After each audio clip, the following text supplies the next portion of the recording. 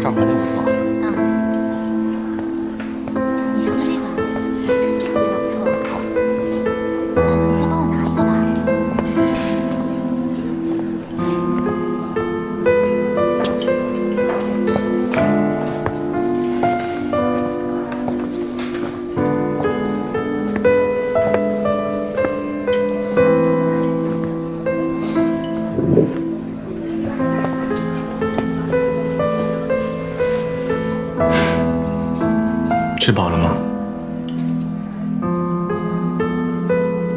可以告诉我为什么想钱吗？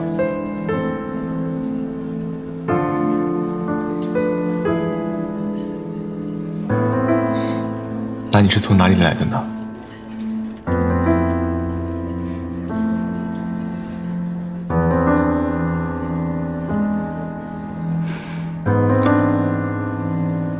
吃完饭，那你就先回房间休息吧。中午饭也可以在这里吃，房号挂在幺二二六。我不是不想告诉你，我是全忘了。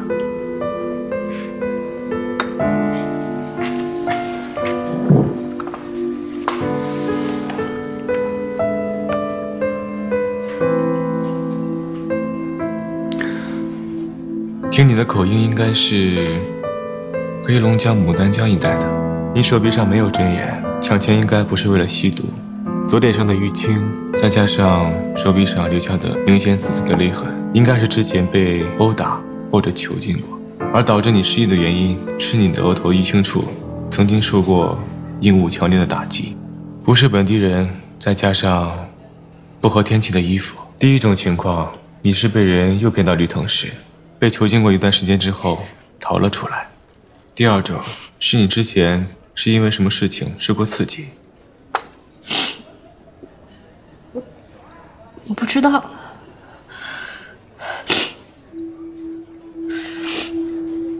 我不知道在我身上到底发生了什么。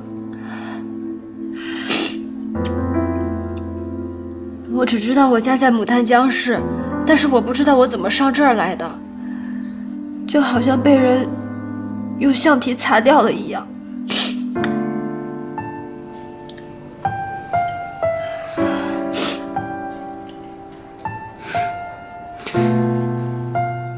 那你可以告诉我，你叫什么名字吗？我总不能叫你抢劫犯小姐吧？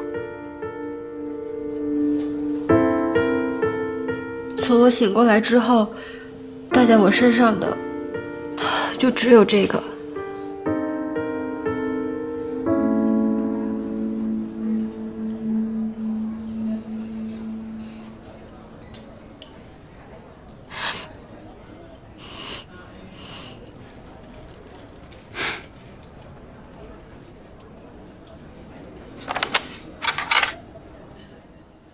有时候总会因为一些特殊情况，而导致迷失了方向，选错了道路。但是没关系，闽南这个人还活生生的存在着。那我们现在需要做什么呢？既然以前有那么多的不开心和不顺利，我们何不往前看看呢？这样是不是就顺多了呢？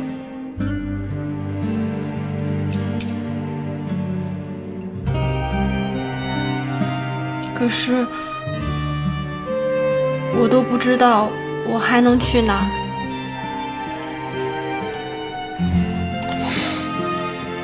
我倒是知道一个地方。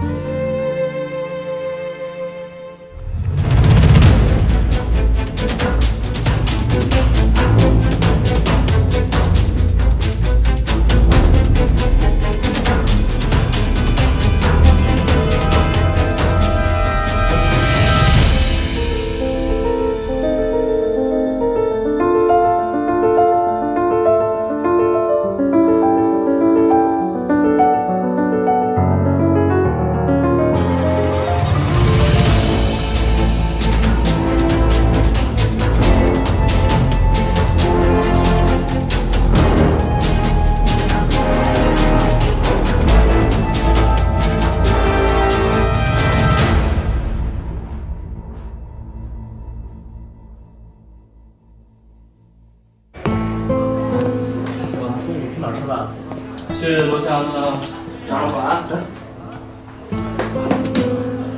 哎，这是。开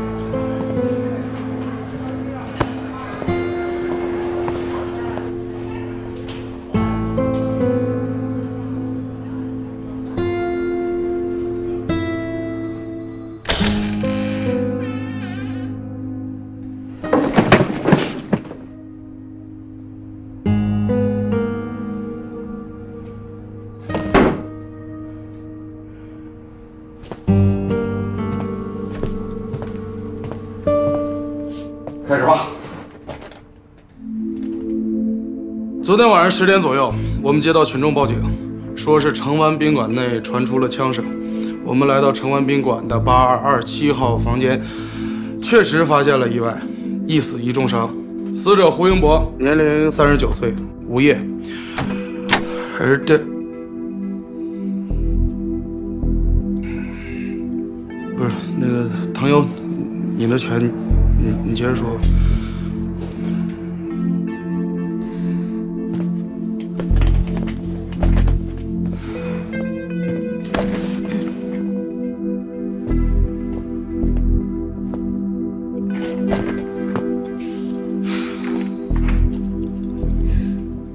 一个是绿藤市公安局局长邢志森，被发现的时候因流血过多而昏迷不醒。在过去的两个月里，邢志森和胡英博没有什么生活的交际。胡英博体内的子弹是由邢志森手上的六四式手枪激发而出的，而胡英博手中握着的是一把不锈钢勺子。在邢志森的体内也发现了六四式手枪的弹头，但据技术科鉴定，邢志森体内的子弹也是由他自己手中六四式手枪激发而出的，并且在现场没有发现除了邢志森和胡英博之外第三者的痕迹。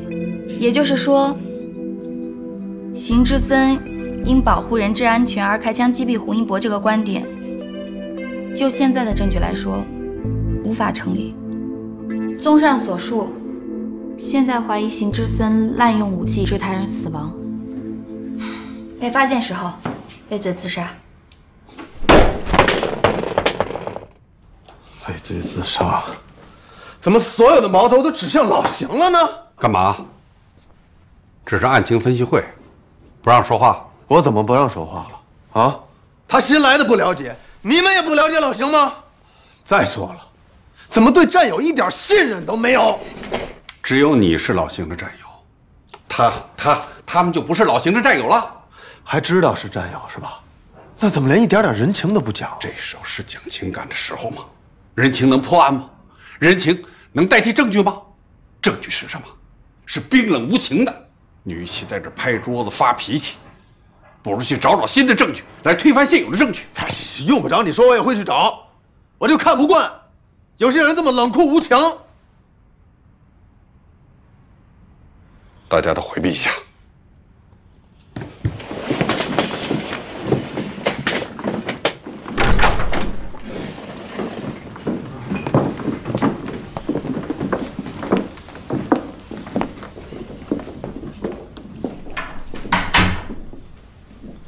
坐下。我让你坐下。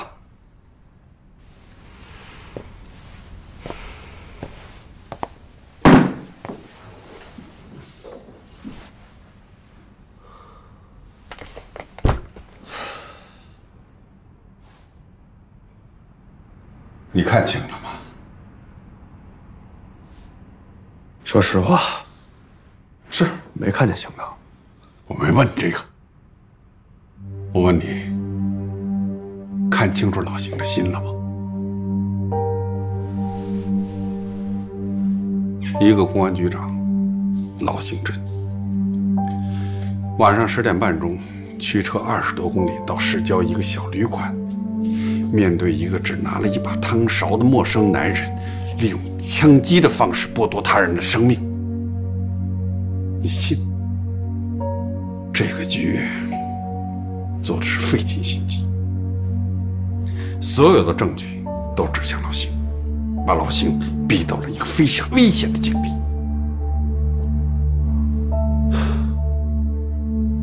当务之急，我们侦查的方向就是要尽快的找到邢娜。我一直有一个感觉，绑架邢娜的和陷害老邢的是一伙人，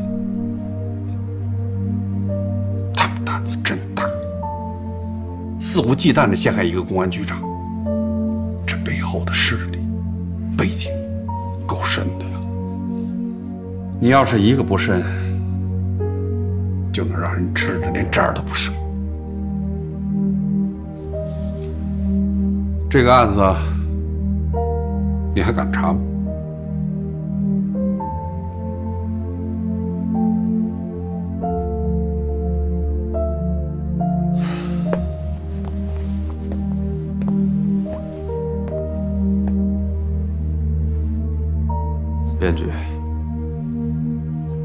醒了告诉他，他还欠我七十块钱了，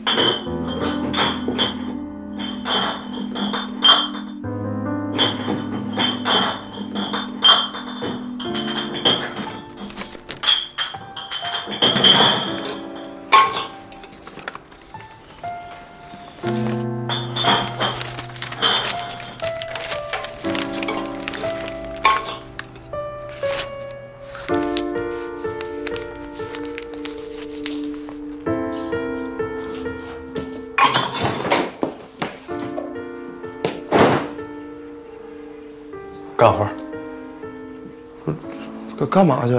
十三号院。你现在去啊？我得赶紧打个电话。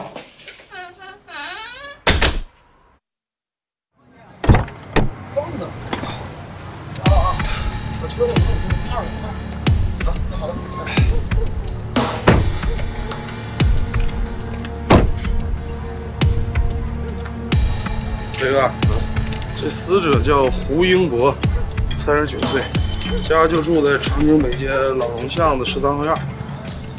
家里还有一个母亲和一个弟弟。我，嘿，怎么回事？这姑娘？对不住，对不住，对不住，没事没事。这弟弟两年前出去打工了，这一年前回回到家。哎，你好。整个家庭啊，主要是以吃低保为主。啊就反正从这上面显示，我觉得这事儿很奇怪。这个钱这么慢吞吞的，书籍哦，你输了就急哦。你们那么多钱，就是，就你们三个人，有钱不输一点。几个人当天小气这么好，没你你还不错啊，有了那么多钱还不多呢，快点打啊，走啊！哎呀，别急，阿姨，我这牌打您个事儿啊，都被打了。十三号院怎么走啊？看看啊，走不脱。阿姨，十三号院怎么走？您知道吗？哎呀，阿姨，阿姨，你喊什么喊？我耳朵又没聋。没说你是聋子。行行行，抓，我丢这个，抓，快点。大爷问你一下，那个十三号院怎么走啊？我不清楚啊。谢谢。哎，兄弟，我问一下，那个十三号院怎么走？你知道吗？我也讲十三号院啊，什么路子？啊？我问你找谁？哦，找那个胡胡胡英博，哦胡英博，胡英博啊。胡英博在这边。认识。哼，找对人了。哎呦，太好了。十三号院啊，要走到第二个牌子后面那个。新大人，我站着，站住！好，躲着点。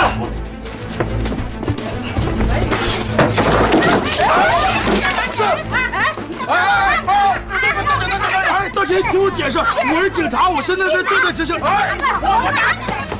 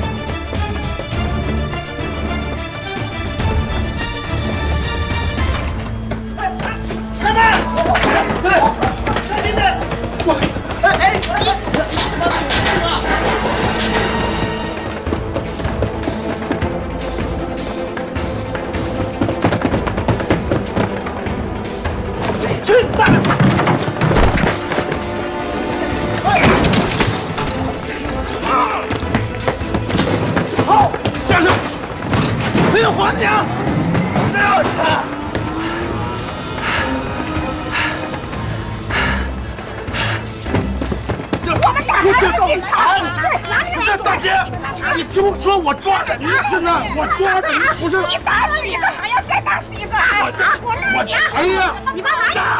别，这事是跑不了的。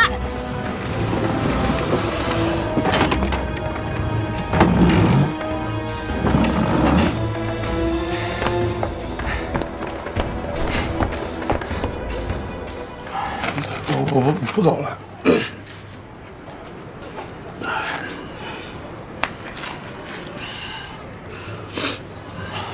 还有纸巾吗？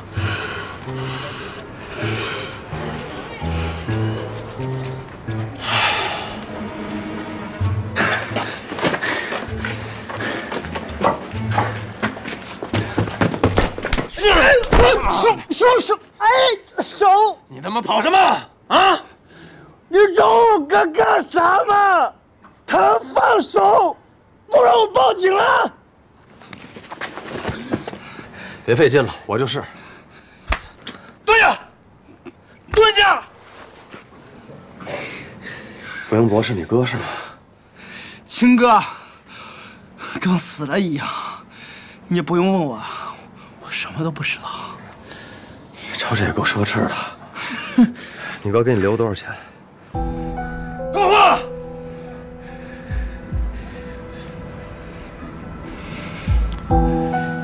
一周前。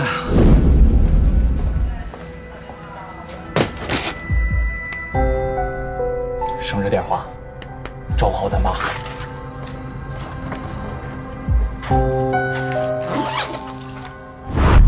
他有没有说是谁给的钱？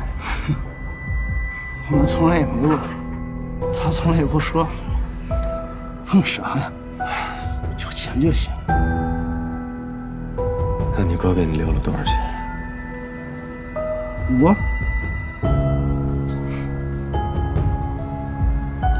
五万。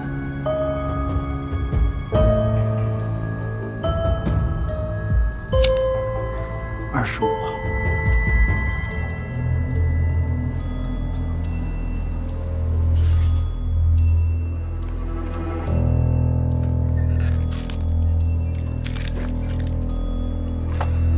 你抽的这个，不知道是你哥的胳膊，还是你哥的大腿。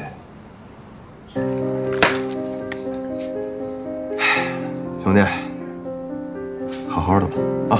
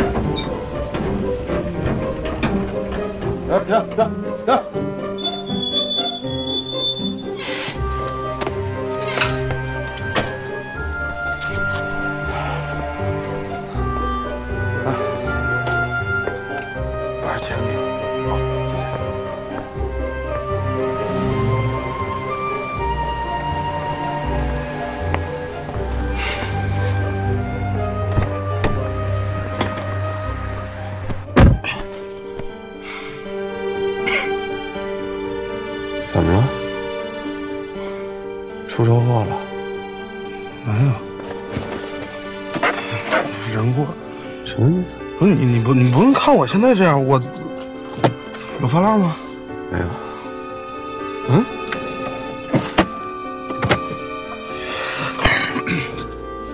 哎，没事儿。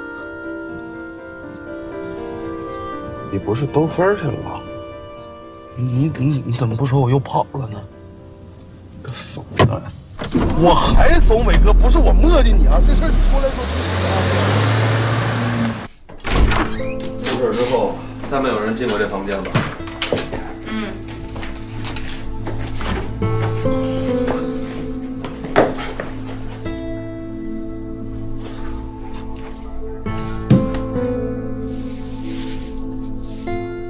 当时老邢的位置应该就在这儿，就这块儿，那个男的应该在这个瓷砖边上。如果邢大在场的话，那么应该就是在这一块。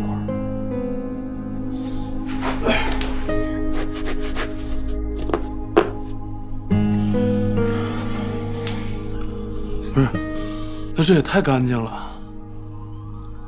服务员，这是案发当日那块地毯吗？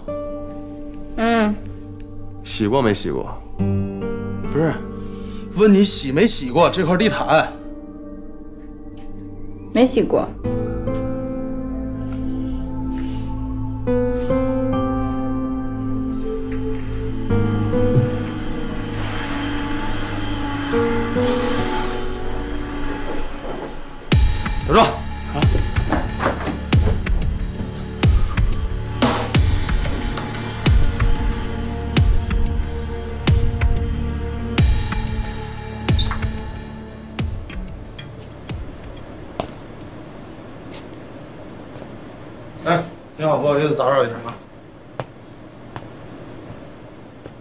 下，你们谁呀？我们警察。是这样，我们想了解一下。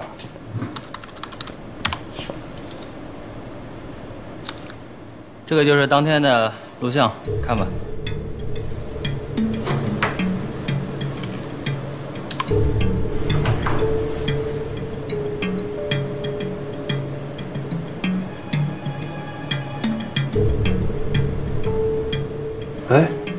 这怎么会这样？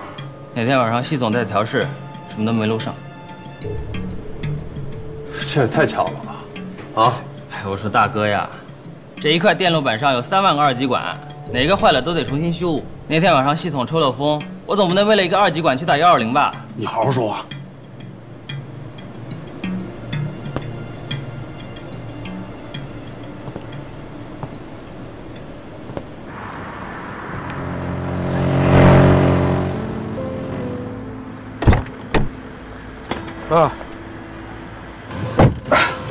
吃点东西吧。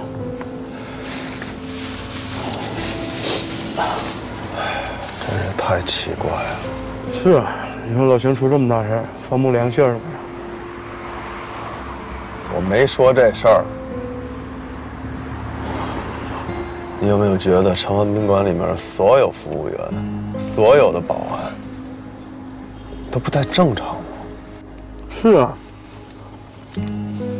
你看咱一去啊，该玩的玩，该吃吃，该喝喝，还还还有那监控，一年都修不上一回，非赶上案发当天，这太巧了。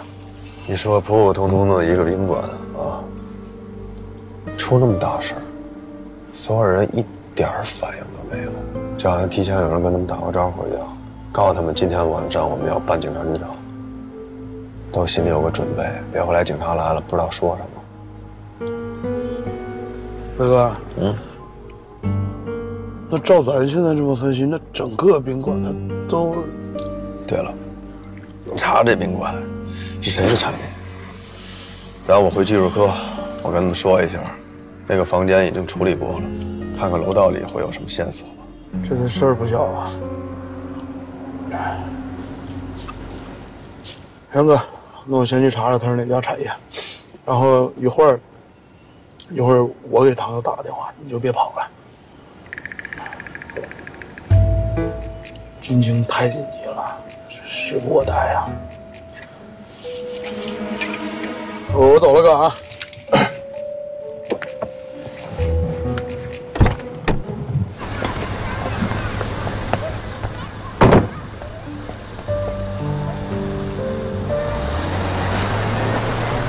这些天。你就先住在这里吧。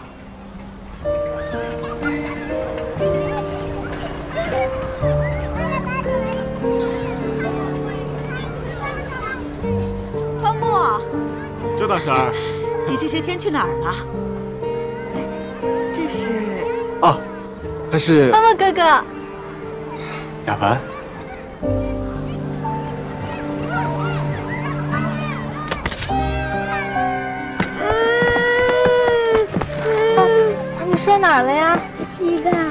那个，哎，亚凡，这孩子就这样，怕见生人。哦，我不太会买衣服，赵大姐，这些是给亚凡的，你帮我给他吧。他是闽南，是我朋友，可能在咱们这里先住几天。这个是你的车。好好好，闽南，你待会儿就住在那栋楼里，我给你腾个房间出来，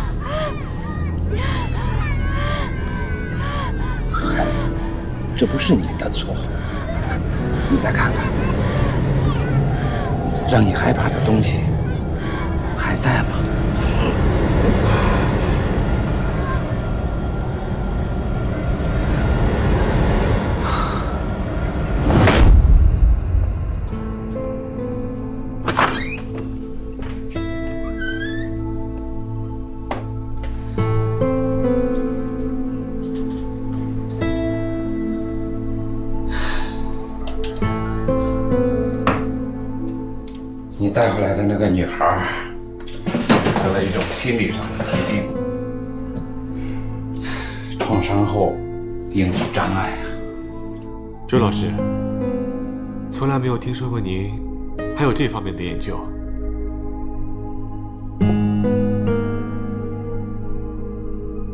十年了，瞎闹，也不知道这孩子的病能不能治好。这种病真的那么危险吗？得了这种病的人，往往是经历或者目睹过巨大的心理刺激。你的大脑就像一架照相机，把这点痛苦永久地照在了你的脑海里。当你再次遇到相关或者相似的事情的时候，恶魔就会从你脑海中出现。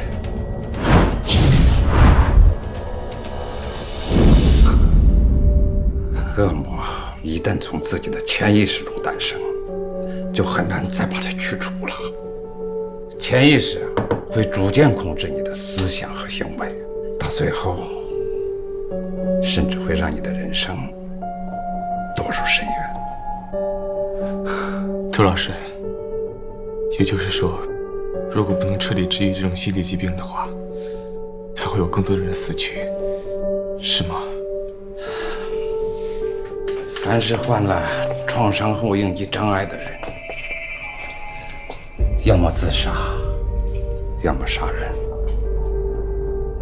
这就是小赵的儿子，在他八岁的时候，也患上了这种病，趁他妈妈不注意，自杀了。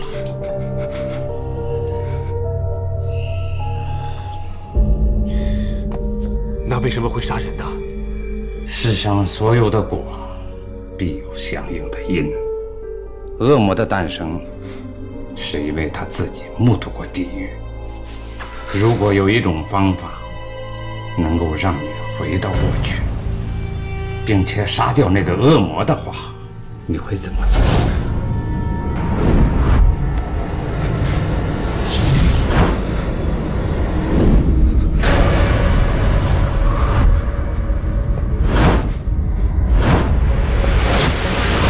不行，不行，方木，怎么了？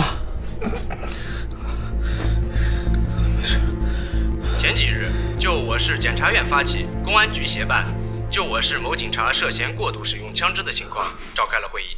会议上重提五条禁令，涉案警察是我市公安局局长邢志森。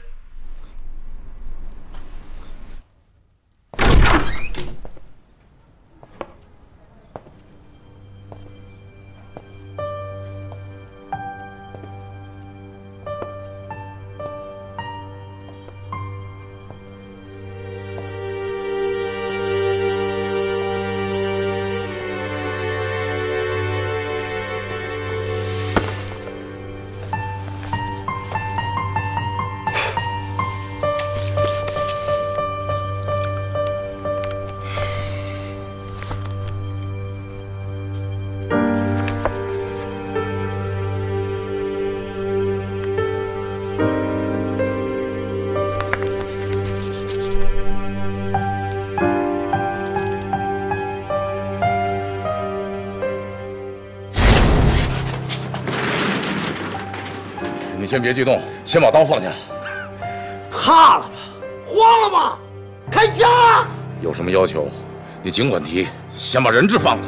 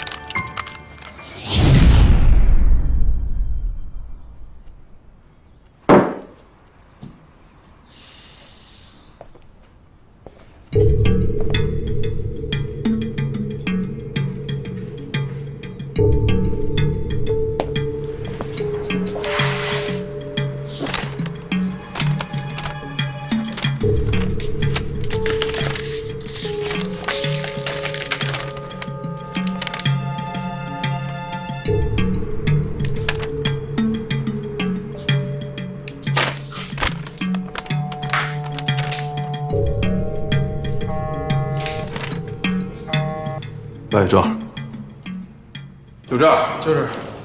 之前我也调查过了，关城宾馆的法人就是梁四海，五十岁。这老头两周之前刚去泰国，所以没所以没有这个作案动机。我刚才不是来过吗？警察办案。这能能能走能走能走没事。我还调查这个梁四海有个儿子，叫梁泽浩，两年前刚刚刑满释放。我也根据老民警呢了解到，十年前这个案子的负责人恰巧就是咱家刑局。十年前，嗯，那这梁子浩现在多大岁数？现现现在是二十八，犯的什么？聚众强奸少女。这是哥哥，你也别来回看了。刚才我从他的同事那儿了解到，他得有一个多月没没来了。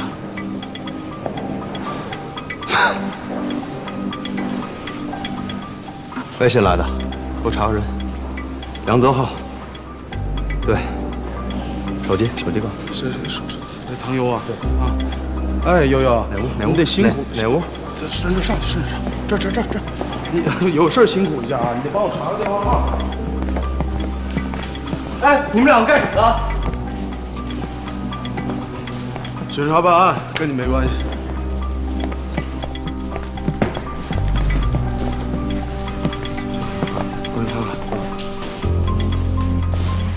哎，对了，这个梁梁梁泽浩平时有没有看报纸的习惯？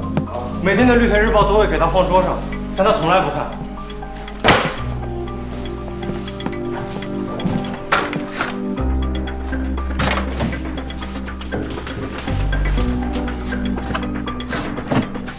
伟哥，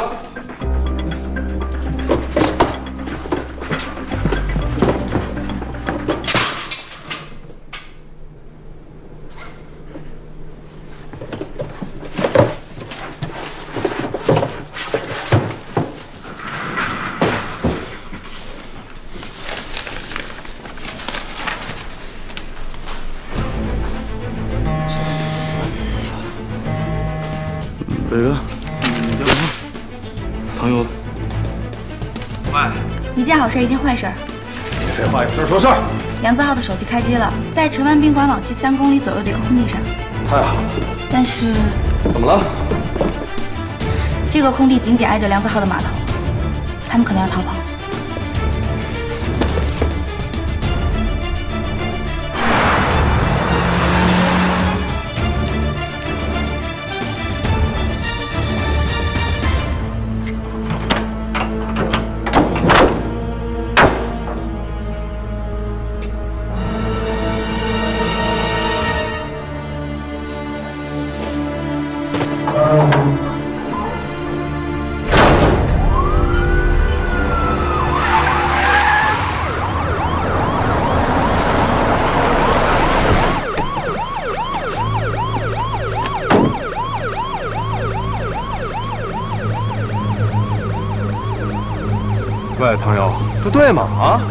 么什么都没有啊？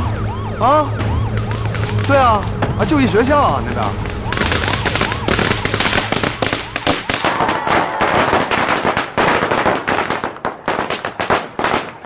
现在请四海公司董事长梁先生讲话。磊哥，刚才我发现门口停了三辆货车。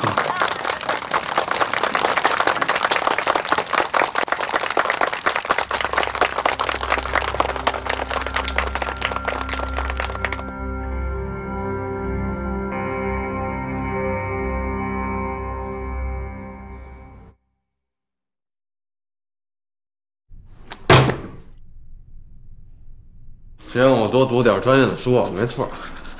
但得根据我的情况，我这脑子乱，看了后面忘了前面，记不住，跟得了失忆症似的。嗯。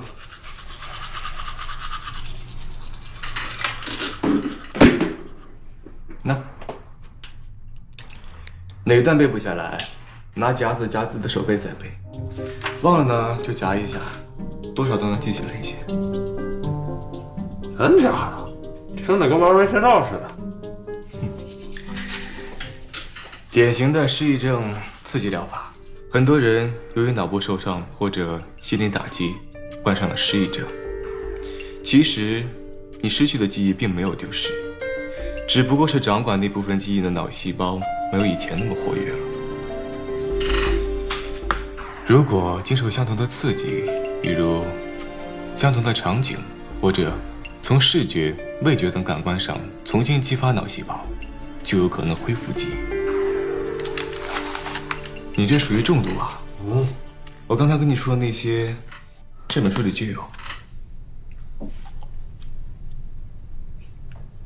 他能不能给我换个大个